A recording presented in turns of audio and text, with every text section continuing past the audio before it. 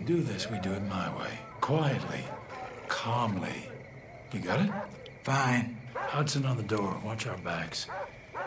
Don't let any of these people get in. Rookie, on me. And you, just try not to do anything stupid. Relax, Sheriff. You're about to get your name in the paper. You'll be fine. Something is coming. You can feel it, Kane. We are creeping toward the edge. And there will be a reckoning. That is why we started the project. Because we know what happens next. They will come. They will try to take from us, take our guns, take our freedom, take our faith. We will not let them. Sheriff, come on. Hold on, Marshal. We will not let their greed, or their immorality, or their depravity hurt us anymore. Sheriff. There will be no more suffering. Fuck it. Joseph Seed.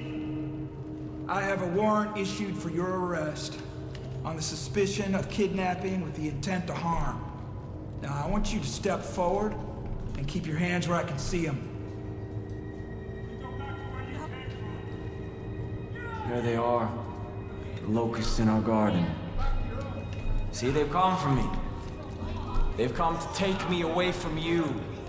They've come to destroy all that we've built. Do not touch that service weapon! Hold on and don't stand down! Stand down! Everyone calm down! We knew this moment would come. We've prepared for it. Go. Go. God will not let them take me.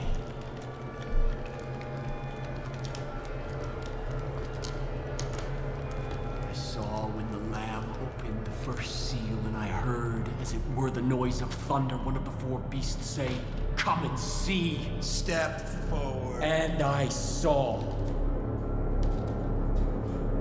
And behold, it was a white horse.